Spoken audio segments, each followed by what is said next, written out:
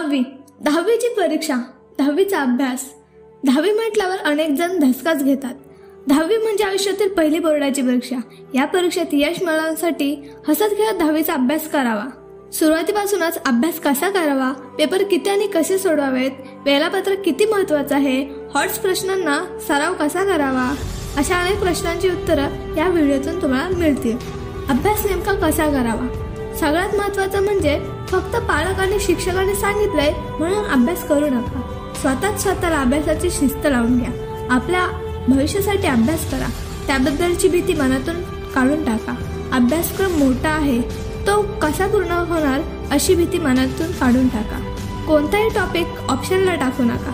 परीक्षेत पंच्याण्णव टक्के प्रश्न हे तुमच्या क्रमिक पाठ्यपुस्तकातीलच असतात. त्यामुळे सगळ्यात आधी ते नीट वाचा. तुम्हाला दहा ते बाराच धडे असतात. त्यामुळे त्याचे छोटे छोटे भाग करा. ते नीट वाचा. समजून घ्या. घोकंपट्टी केली तर उपयोग नाही. समजून घेतलं तर अनेक प्रश्नांची उत्तरं तुमची तुम्हाला सापडतील. स्वतःची प्रश्नपत्रिका तयार करा आणि त्याचे मुद्देसूद उत्तरे लिहिण्याचा सराव करा. मुख्य परीक्षेत दिलेल्या सूचनांचं पालन करा. मुद्देसूद पर उत्तरे लिहा. उगाच फापट पसारा नको. अभ्यासाची तुमची एक पद्धत बनवा. रोज दिवसभर अभ्यास करणं सक्तीचं नाही. दिवसातील काहीच तास अभ्यास करा. मात्र तो मन लावून करा. प्रत्येक विषयाला रोजचा किमान दोन तास तरी द्या. एकाच वेळी एकाच विषयावर फोकस करा. अभ्यास करताना विषयाची वर्गवारी करा. गणित आणि विज्ञान हे विषय एकमेकांशी संबंधित असल्याने त्याचा अभ्यास एकत्र करा. त्यानंतर समाजशास्त्रासारख्या सोशल सायन्स स्कोरिंग विषयाकडे लक्ष द्या. सगळ्यात महत्त्वाचं म्हणजे भाषांकडे अधिक वेळ द्या. कारण बरेचदा भाषेचा पेपर लिहिताना वेळ पुरत नाही अशी ओरड करताना विद्यार्थी दिसतात.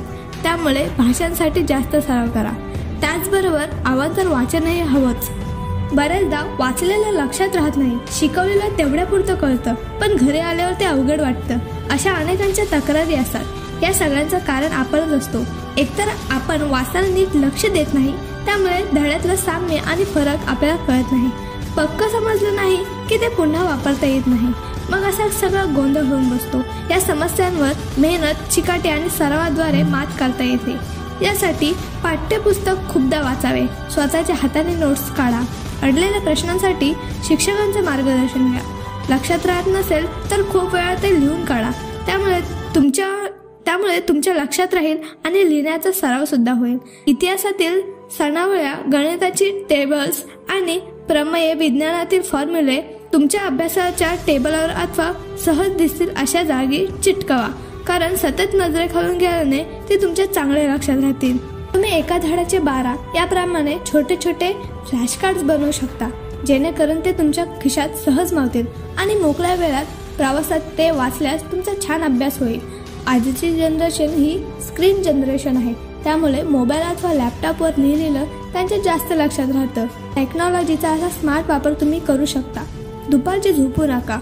खूप थकला असाल तर जास्तीत जास्त वीस मिनिटाचा विश्रांती म्हणजे पॉवर नॅप घेऊ शकता. शांत चिंतेने अभ्यास करता यावा म्हणूनच छंद जोपासाल. कारण त्यामुळे तुमच्या मनावरचा ताण निघून जाईल. रोज आठ तासांची झोप हवीच. रात्री डोळे ताणून जागे राहण्यासाठी पहाटे उठून अभ्यास करणं जास्त चांगलं. तब्येतीला जपा.